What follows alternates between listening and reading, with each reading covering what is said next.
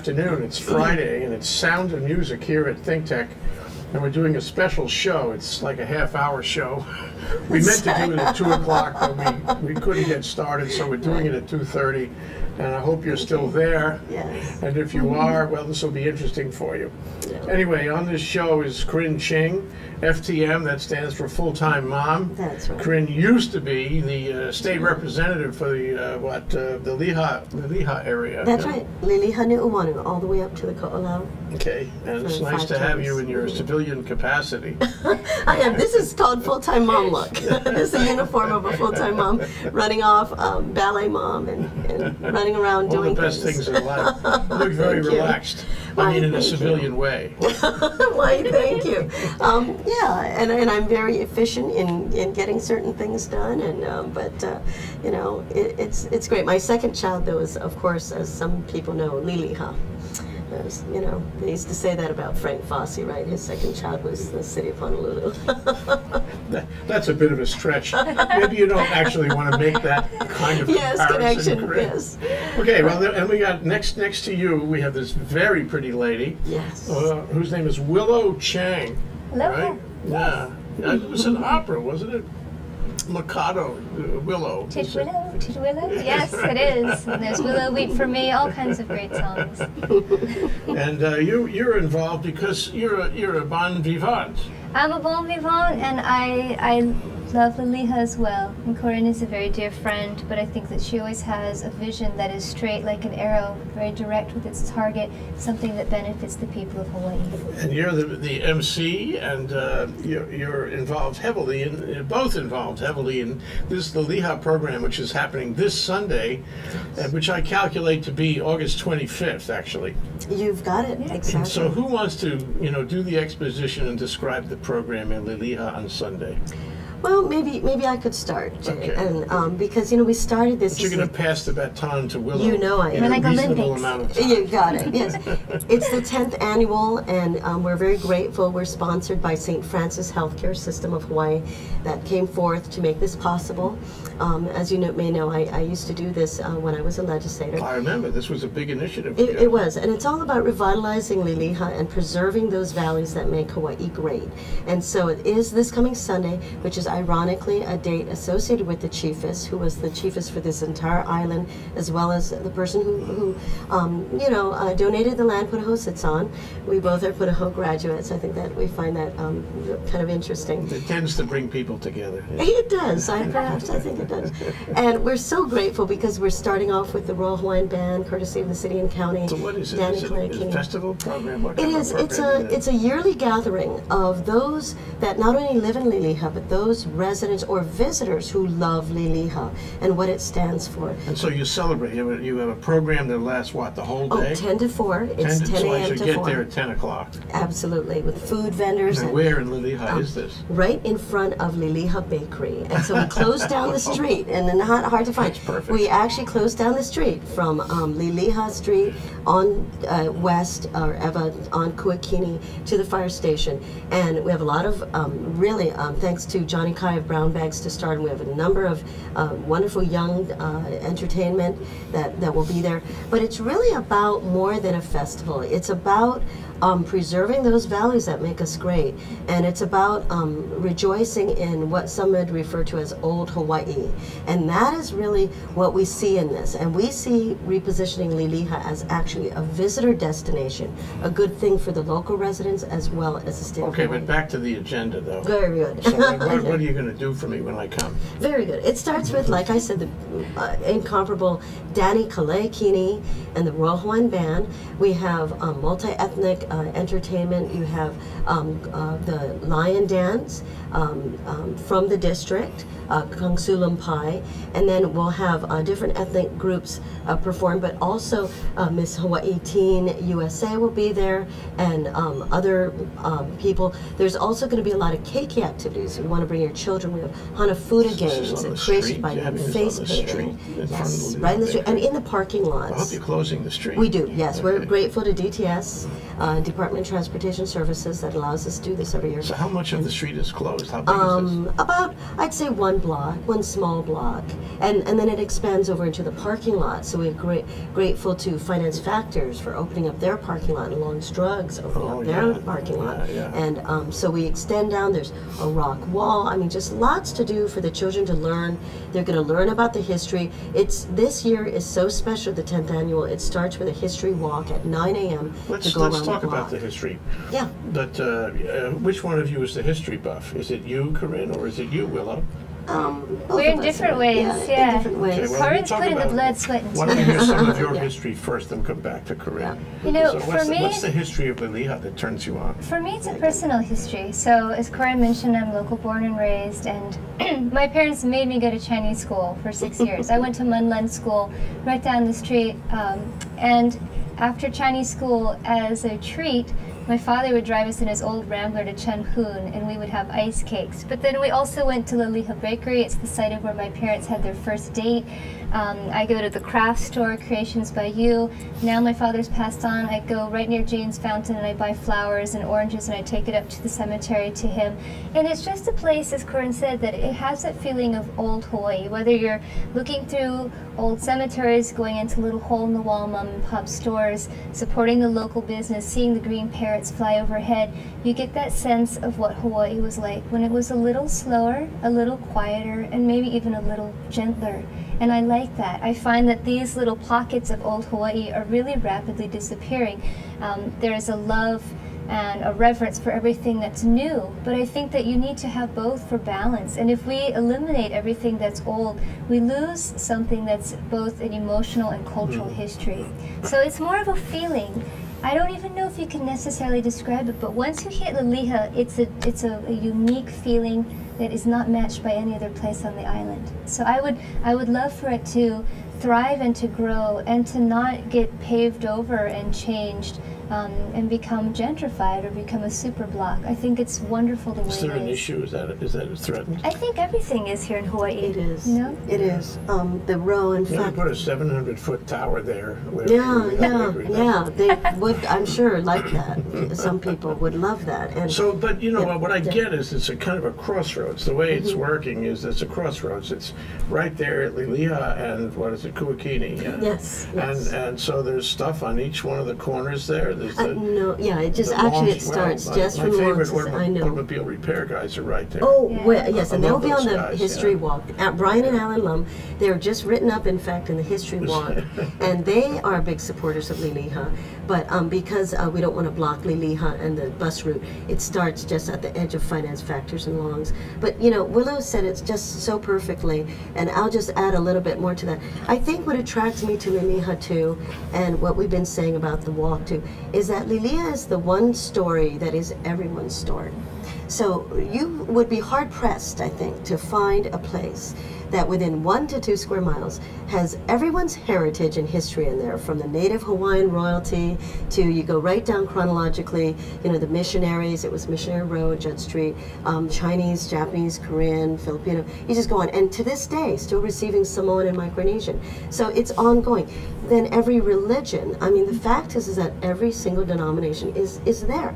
Um, Liliha herself was not Catholic, but her husband was. And hence you have sort of this interesting Catholic uh, presence there, probably because of uh, Boki, her husband. But you have the um, only Jewish synagogue right up the street. You have the Shingon Temple, which is over 100 years old. You know, we are the land of four bon dances, bon dances, you know. So you've got Chinese, you've got Chi- you're the Korean Christian church. So, Hare you know, Krishnas. yeah, Hare Krishna. Thank you so much, Willow. Don't forget Best that, yeah. vegetarian. Yeah, right there on Coelho. So where can you tell this story? And isn't this the essence of Hawaii? I think so. Where we look like a plate lunch and say, I like that, I like that. And you know what? Through many, maybe there is one, one local culture that is made of many. Well, know? uh, you know, a, a couple of thoughts. Uh, just, and the actual commercial center is pretty small, although Yes. there's some there's some stuff on uh, Liliha Street Right. all the way down. Yeah. And it's you know it's old old you know. But what about what about creating a, a new neighborhood like you know like for example in Kaimuki there are people who want to make biking easy. Oh yeah. Uh, people in Kaimuki want to establish new shops, uh, upscale restaurants, and I don't know all, all those very neighborhood-like kinds of things. Are you guys doing that? I mean, aside from the festival, are you doing that? The too? melange, you know, as the French say. Yeah. We we thrive, right? I think when Are I you making that. new businesses there? We, we there are many new businesses coming in all the time because we can't save all the old ones. And the truth is, it is that blend. And we want trees, we want bicycles, we want our people to be healthy. We think we can have it all actually. Be healthy plus some historic sites. We'd love to restore that old Jane's Fountain neon sign like they have in Waialae Avenue. so I mean, it is about being young, and that's why we brought in cafe tables. That's why we're encouraging cafes. We want the young people there, absolutely. But you know what we think? We think young people are interested in old things, and I think it's been proven. This history walk that we thought would have maybe just a few. It's been an overwhelming, um, you know, success. And the truth is, is that places that do preserve their history tend to do better economically. We've proven that. Well, but this, you know, I mean, everybody talks about from Cheryl Soon. Remember her? Yes. The Department of Transportation Services Yes, back yes. back in the '90s. Um, she- she spoke of neighborhoods. She's She said the healthiest thing that can happen in Hawaii is neighborhoods. And You that's- guys are yeah. building neighborhoods. And Liliha is a great example of that. So uh, the idea of a planned community has its own charms, but you can't compete per se with a neighborhood that has a balance of the two. That's I mean, you walk one block away from the Liliha and you're right into someone's neighborhood, and it's homes, and that's what it is. Is it, it cradles that, it nurtures that energy. It's a different kind of energy when you're situated when there's a mix of retail and residential. So it's old school. You know, when kids read something like Harry Potter and they travel to Europe and they see castles, it, it stokes their fires and they're excited about it because it seems like fantasy. But for people who live in environments like that, that's day-to-day history. They see the Acropolis every day or, or what have you. Hawaii is a fairly young place in terms of what we have that was built and what lingers. And that's a real motivation, I think, to hang on to things. I wouldn't say that every cinder block building I have nostalgia for. Right. But you have to, we're talking about places that hold energy and that have been gathering places. When you talk about Jane's Fountain, my uncle Timmy, who wrote a letter every day to the editor, he went to Jane's Every day Fountain did every day. That's How wonderful. Tim Chang. He was a, a real citizen for Hawaii. And he loved going to Jane's Fountain. You need to have these places where people congregate. That's like our version of Cheers. Cheers isn't about the alcohol. Cheers is about the people going to Of a course. place. Yeah. And it's the essence. And I think Liliha really embodies that. If you sit and wait in line to get one of those vinyl stools to sit on at Liliha Bakery,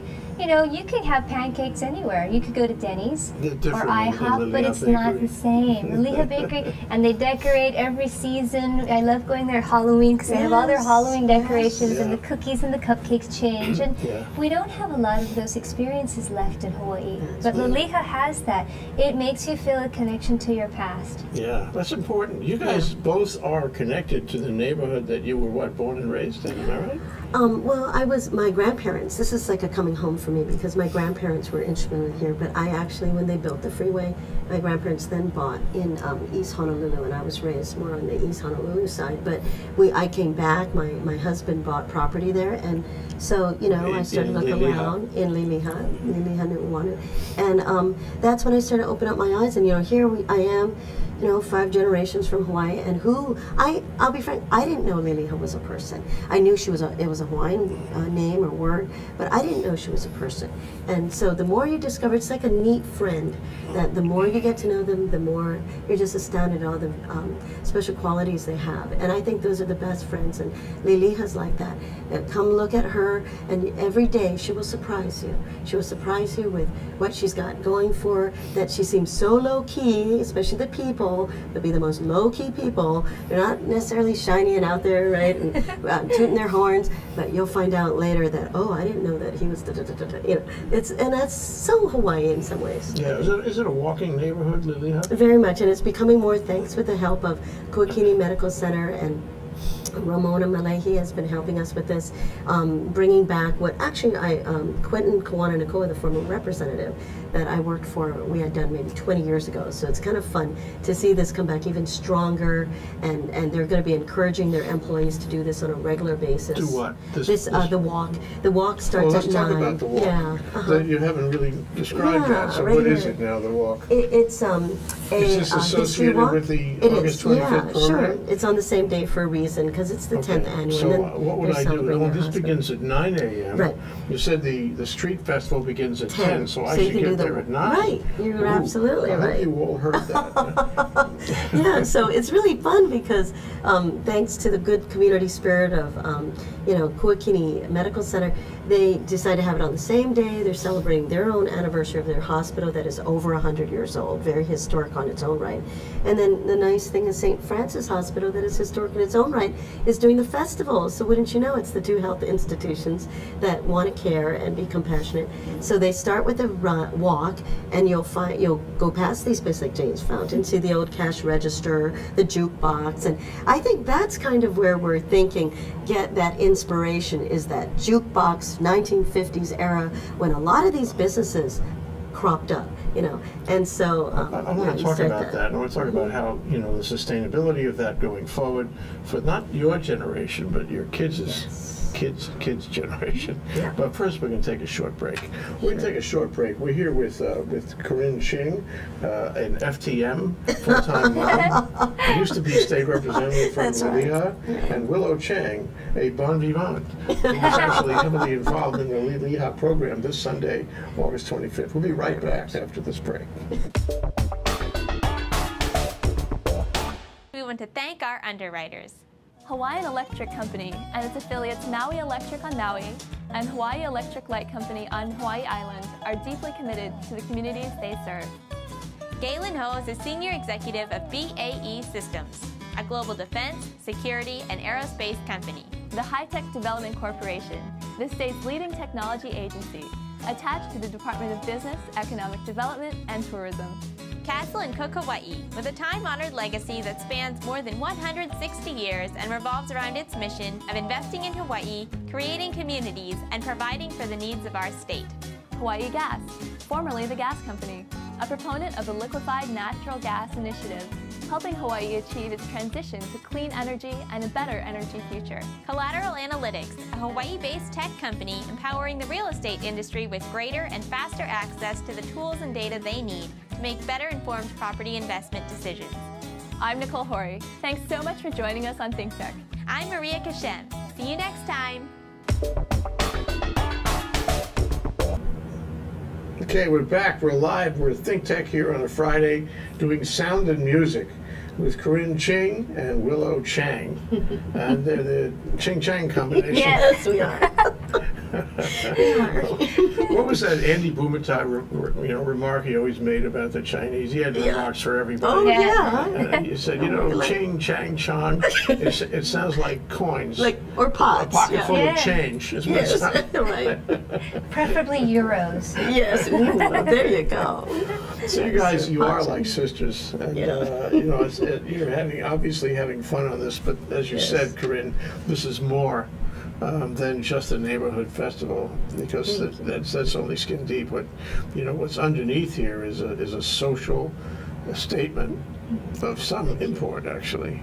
And uh, there aren't many neighborhoods like Lehigh. One of them, by the way, is Nuuanu, right across the Thank way. Well, the right valley, across the, yeah. the Pali Highway, Right. where I live. Absolutely. Uh, We don't we don't have a, a commercial center. Right. We wish we had a commercial center. but, everybody on the street knows each other. Everybody walks together. They say hi. And they would everyone would like the neighborhood to last forever. But you know what? It may not. and Lehigh may, Lehigh may not either. So what can you do, you know, to make sure the next generation feels the same way as you do? Because they may not live. You know, you guys are living in Lehigh right now. Right. Uh, and that's why you're so. That's one of the reasons you're so passionate. But Yeah. um, what about your kids who, who say, "I've got to go"? Thank you for putting on, but I've got to go to, To Stanford and Yale, Oh. and I'm going to get a big job in Lower Manhattan, and I'll see you later. Uh, how do you make them understand I would about say this? yeah, go ahead, Will. I'm not. I'm not sure if stewardship necessarily requires living in the place itself. Mm, And I say that because having lived in various neighborhoods throughout my life here in Hawaii and, and other places, you can feel and develop and foster a kinship and an affinity and a love and aloha for that place. So there's ways that you can be involved even if your zip code is not from that place, with the exception of politics, of course. You've got to represent your hood. Um, but we have an expert right here at the Yeah. table. I would say getting to know your neighborhood. This festival is a great way for people to get hands-on experience of walking, physically walking and meeting people. I mean, what's that saying? Who are the people in your neighborhood? Sure. You've got to know who's in your neighborhood bringing it was in. Mr. Rogers. Yeah, and you have to know who your neighbors are, and you want to support those local businesses. You can get get involved on a civic level, whether it's your Lions Club or even something as simple as taking care of your house. This is not to proselytize and scold people, but when you take care of your yard and you take care of things like graffiti, and you invest emotionally into your neighborhood, it reflects, it creates a chain reaction, and you pass on something that's positive that endures for many people, whether they're driving through your neighborhood or walking through it or living in it. Yeah, and you guys are talking about structures, businesses, even people, uh, stories, history stories um, that are that are visible. I mean, they're they're almost tangible. People living in the neighborhood know this, and you know this. But I'm wondering about you know the the sort of the the, the rebuilding of some neighborhoods uh, where you know it's it's demolished. Everybody go. The Kaka'ako is a good example. Everybody went away. Uh, you can find, only rarely, but you can find somebody who lived in Kaka'ako, whose parents lived in Kaka'ako many years ago. Yes. But there's no tangible connection. no. And then, you know, you get these skyscrapers Yeah. of people who, I mean, who, who, who come from other faraway Yeah. places. They have no neighborhood. It's all Anonymous. speculative. When they got rid of Hamadas, because I used to live in Kaka'ako, so it really changed the neighborhood. What was Hamadas? Hamadas was kind of like Kimoto's Market and Upcountry in Makawao. These old school mom and pop places, kind of like Harry's Music, you know. Yeah. Well, Harry's music in Kaimuki. Yeah, you know, like you go in there, and what it is is it's like a time capsule. It's like pre pre statehood Hawaii. I It know, is. I And the thing is, is that people in today's um, in today's realm, they always define things in terms of ethnic groups or, or identity politics. But you know what? Pre-territory Hawaii, from my understanding, because my father was was older, I'm, I'm the product of a cross generational marriage and, and what have you. Everyone worked together as an ohana. I don't think that that is um, an exaggeration. People worked towards a common goal. The idea is that we were all in this together. It wasn't about segregating Yes. things. It was about what is it to live in Hawaii? How do we Help work together? Mhm. And the unique history of what has created Hawaii is certainly part of that. Plus, paired with the ideas of respecting your kupuna or Confucianist Mhm. backgrounds. Yeah, Yeah. you know, so there's that collective thing. It doesn't mean that young people are of no importance. The ohana is about the whole family. It's Uh, yeah. about uh, uh, getting those jewels from from the elders. So elders. are you going to convey these ideas to the people at the festival in some way? You know, we think we will because, for to start off with Danny Kaleikini, of course, you know, but it is what Willow's um, saying. I'm going to add on to is it's that kindness that you catch in certain. Um, uh, maybe World War II generation. They're gentle. They say hello. They think nothing, and it's not that anonymous that you were speaking of in the Kaka'ako. I think anonymity in a community is actually the enemy. That's the enemy of good communities because if you look at successful communities, they do know each other. And actually, if you think about it, that's the whole philosophy behind a neighborhood security watch. It's not that I'm walking around, it's that I know each other, I, I see, you have eyes, you and I are looking and we care. So that's really the essence. And right, it's a beginning, it's a start, this festival, as, but as you said, it is part of a bigger social statement. I really like that. Thank you, Jay. Is that we are saying here, as Keiki o ka Aina, that you can do this. It's positive. This can happen. It's just being aware. You know, in the first step of anything, it's being aware. Did you know Lily has so fine? I mean, we have a National Geographic photographer, you know, who um, Paul Chesley, who's coming out with a book soon in October, and he took it upon himself as a world-traveling, award-winning National geographic photographer and saw the beauty of Hawaii. I, I mean, saw the beauty specifically of Liliha of Hawaii as well, but and and captured it in pictures and helped us to show residents these are precious places. They're beautiful. And you're beautiful, and your heritage is beautiful. So let's take care. Let's really know that these are charm, and charm has a place in our society, especially if you want to be a tourist destination. Charm isn't something that is that is just um, superfluous. It's something that comes from the heart, and it's what you want to do, and it's healthy for visitor and resident alike.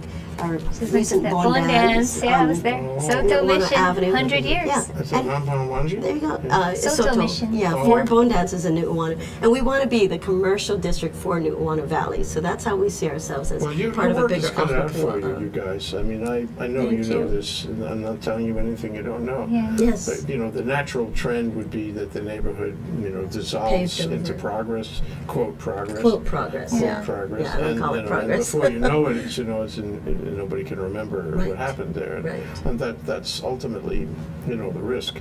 But you guys, uh, you know, you, you got your finger on something really important. And I Thank hope you can, you know, at least on Sunday, make everybody understand and remember, and maybe going forward, more people will have these thoughts than, than less. Uh, and then maybe it'll catch on other neighborhoods. All You know, what you're Yes. describing is the true value of Hawaii, and we're all losing that now. Yes. You, you, I'm sure you will agree. It's kind of like if your neighbor says, "Hey, you know what's some lychee?" or "I got mango." They give you a bag of fruit in a paper bag. I mean, that's, That's the kind of Hawaii. neighborhood. That's old Hawaii. You never asked, you didn't anticipate, you didn't expect. It was just the generosity afforded to one another. Yes. And you go trick or treating, and you know your neighbors. And if the mailman gives the mail to the wrong person, they come over and they hand it to you. They don't just throw it under your door. I mean, those seem like small things, but it's the, the actions of small kindness that build community. Yes. And I think Liliha represents that. And maybe this small community can we help have that in greater Nuuanu Hawaii. too, but we don't Yeah. have a festival like you guys. We are your festival. But maybe We're we should come to your festival. You should. If I want to come now, exactly Yes. what do I do?